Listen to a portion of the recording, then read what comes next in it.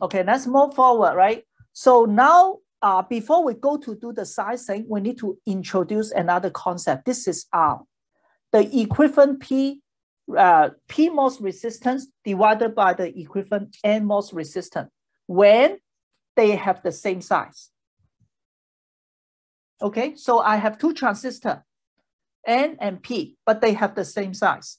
What are their equivalent uh, what, what's their ratio? I call it R, right? So R equals to the equivalent P resistance divided by the equivalent N resistance. Okay, which is equals to, they have the same voltage, right? So they both all go through VDD, right? Equal to ID set N divided by ID set P. Is this okay?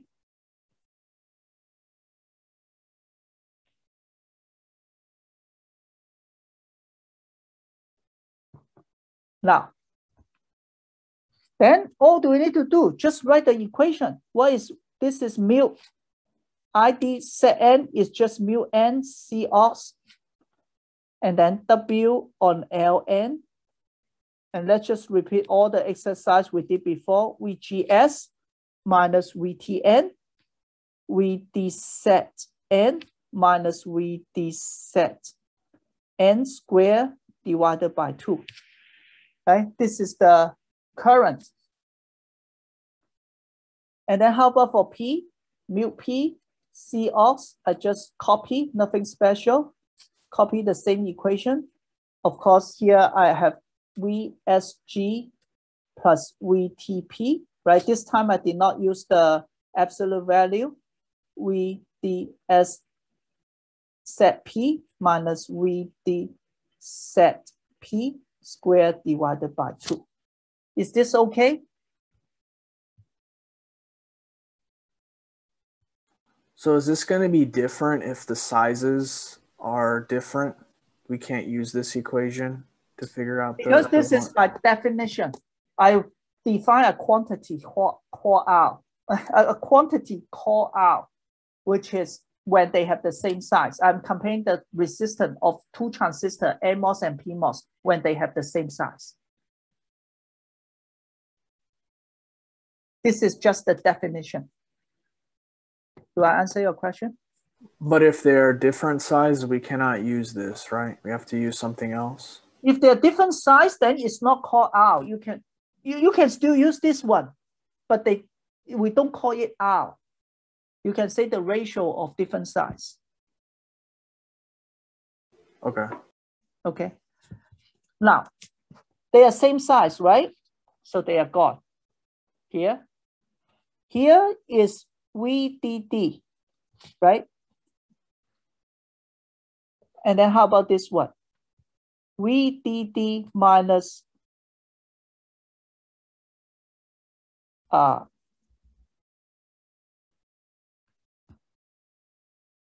VTP, right? Uh, uh, I, I, I, this time I just put this into the uh, absolute value.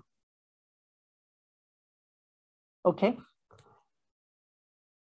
Right, so with this, then I say that, okay, then now it becomes mu n divided by mu p VDD minus VTN, VD set N minus VD set N squared divided by 2, right?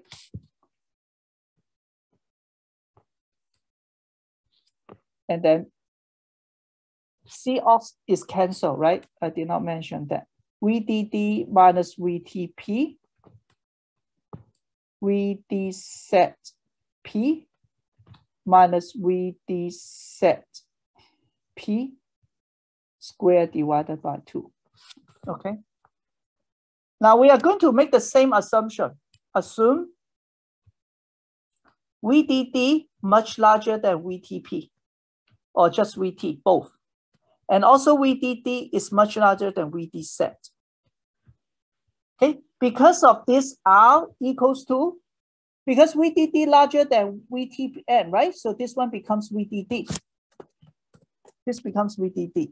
And then this term can be ignored also, right? Because VDD larger than VD set.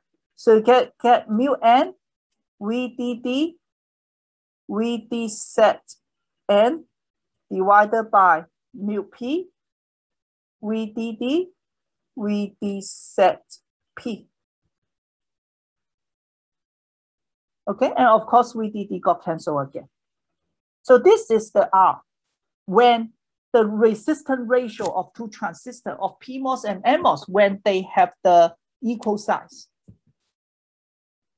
And we can further, if you remember, we mentioned before, saturation velocity is just equal to the L times the E critical.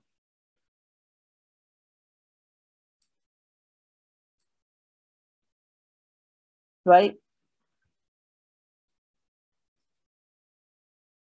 If you remember this one, this is the mobility, this is the electric field, not mobility, this is the velocity of the electron, this is the electric field, and then they saturate. This is E critical, and this is the slope. So the uh, for a transistor that the length is L, L times the E critical will be equal to the VD set, right? And then now mu times E critical, these two got canceled, right? Because they have the same length. It's just equal to the velocity. This is saturation velocity of N divided by the saturation velocity of P. So this is a new equation that we just learned.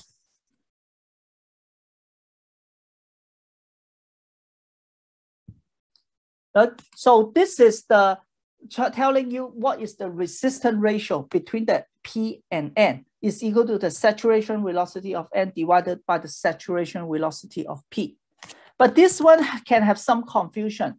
The both also have another definition. Remember the R, which is the uh, R that, that, you, that you use to calculate the VM, which is saturation with velocity of P times WP divided by saturation with velocity of N divided by WN, right? So they are different.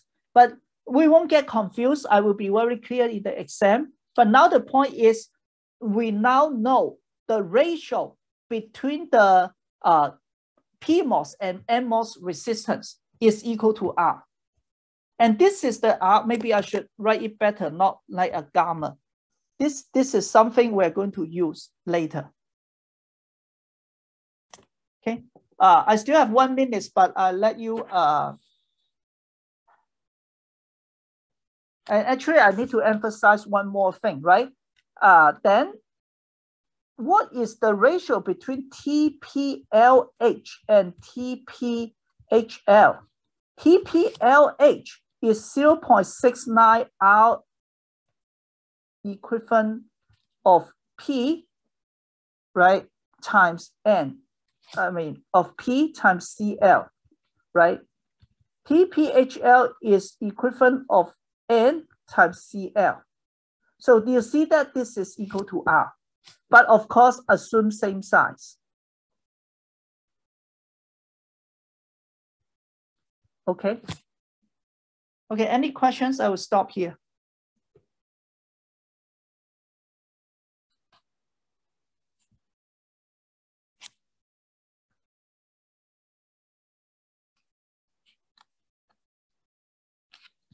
If not, feel free to leave.